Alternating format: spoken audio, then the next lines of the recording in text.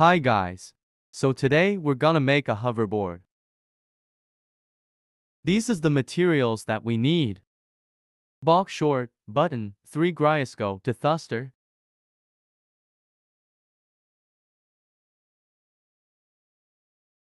Let's get started.